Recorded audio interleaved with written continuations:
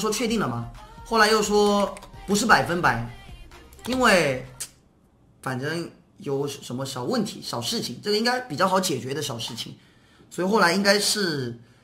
目前今天我听起来可能是那个五杀剑姬可能去他们那个队伍了，就是你们在网上看的那个队伍，嗯，然后剑魔去五杀剑姬的那个队伍。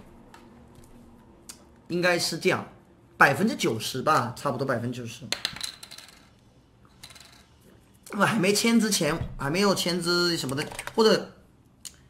当时本来说都口头上都已经说好了，然后又说中间有一些什么小问题，